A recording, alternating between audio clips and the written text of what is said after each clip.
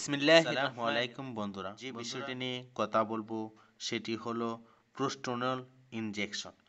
প্রোস্টোনল ইনজেকশনটি দুই এম এর বায়েল প্রোস্টোনল ইনজেকশনটি একটি টেকনোডাক্স কোম্পানির একটি ইনজেকশন যার মূল্য মাত্র পঁচাত্তর টাকা। প্রোস্টোনল ইনজেকশনের মধ্যে রয়েছে ক্লোরোপ্রোস্টোনল সোডিয়াম বিপি।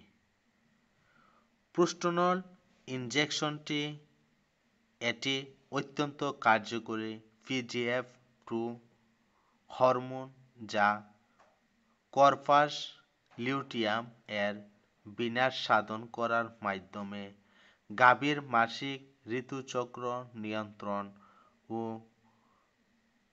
কাম উদ্দীপনা আইনয়নের গুরুত্বপূর্ণ ভূমিকা পালন করে। ইহা গাভীর বকনা অথবা সাধারণ প্রোস্টাগ্যান্ডিন জাতীয় হরমোন নির্দিষ্ট সময়ের মাধ্যমে করপাস, লিউটিয়াম এর বিনাশ সাধন না হয়ে স্বাভাবিকভাবে অবস্থা করতে গাবি আর গরম হয় না। এই ধরনের সমস্যা সমাধানের জন্য ডাইনোপ্রোস্টোনল ইনজেকশন ব্যবহার করলে ইহার খুব দ্রুত করপাস লিউটিয়াম এর বিনাশ সাধন করে এবং গাবি গরম হয়। মোট কথা প্রোস্টোনল গাবি বকনার মাসিক ঋতুচক্র নিয়ন্ত্রণ এবং প্রসবক্রিয়া সম্প্রদানে ব্যবহার করা বা পুশ করা যায়। গাবি বকনার নীরব কামোত্তেজনা বা সাব স্টার্টস এর ক্ষেত্রে পুশ করা যায়। স্টার্স সিনকোনাইটুস যে নাইটিশনের অথবা কাম উদ্দীপনা সম্পূর্ণ সাধন করার জন্য পুশ করা যায়। গর্ভপাত সাধারণত স্বাভাবিক এবং অস্বাভাবিক গর্ভাবস্থা সমাপ্তিকরণ এর ক্ষেত্রে পুশ করা যায়। যেমন, সাধারণত এক সপ্তাহ থেকে পাঁচ মাসের গাবি গরুকে প্রোস্টোনল ইনজেকশন দিলে দুই থেকে সাত দিনের মধ্যে গর্ভপাত ঘটে যায়। প্রসবক্রিয়া সম্প্রদারণ যেমন, একটি গাভী ডেলিভারি হতে বাচ্চার দুইশো সত্তর দিন হতে দুইশো নব্বই দিন সময় লাগে, অর্থাৎ দুইশো আশি দিন অথবা নয় মাস দশ দিন দশ দিন প্লাস অথবা দশ দিন মাইনাস এর সময় লাগে। সেই সময় গাভী, গরু অথবা বকনাকে প্রোস্টোনল ইনজেকশন দিলে আঠারো থেকে ছয়ত্রিশ ঘণ্টার মধ্যে প্রসবক্রিয়া স্বাভাবিক হয়। তাছাড়া দীর্ঘকালীন, গর্ভকাল, দীর্ঘকালীন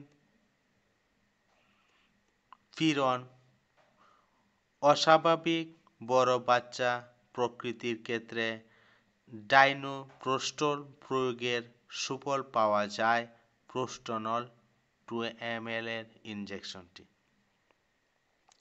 তাছাড়াও রোগের ক্ষেত্রে যেরকম পায়োমেট্রা, জরায়ুতে পুষ এসবের ক্ষেত্রে প্রোস্টোনল ইনজেকশন প্রয়োগের দুই থেকে চার দিনের মধ্যে পুষযুক্ত তরল পদার্থ এবং মিত্র বাচ্চা জরায়ু থেকে জনির ভিতর দিয়ে দেহের বাহিরে চলে আসে এবং গাভীর গরু গরম হবে।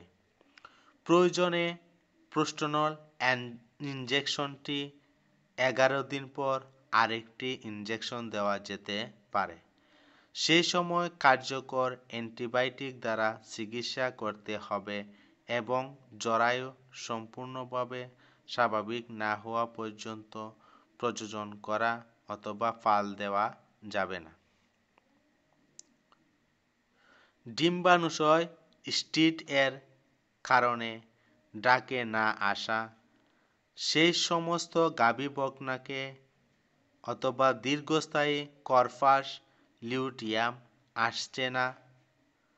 তাদেরকে পুষ্টনল দ্বারা চিকিৎসা করলে দুই তিন দিনের মধ্যে ডাকে আসে, অথবা গরম হয় এবং পরবর্তীতে ডিম্বাণুকরণ ঘটে। প্রোস্টনল ইঞ্জেকশনটি গাবি অথবা বকনাকে,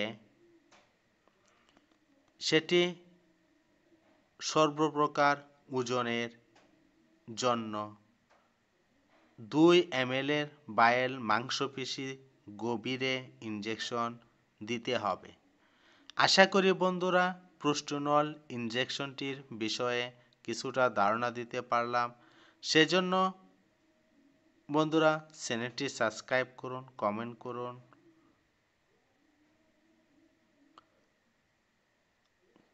প্রোস্টোনল ইঞ্জেকশনটি বন্ধুরা, গর্ভকালীন, এটি ব্যবহার করা কোনো মতেই যাবে না। প্রোস্টোনল ইঞ্জেকশনটি গর্ভাবস্থা বকনাকে অথবা গাভীকে পুশ করলে গর্ভপাত হওয়ার সম্ভাবনা সবচাইতে বেশি। সেজন্য কোনো অবস্থাতেই প্রোস্টোনল ইঞ্জেকশনটি গর্ভ অবস্থা গাভীকে পুশ করা উচিত নয়।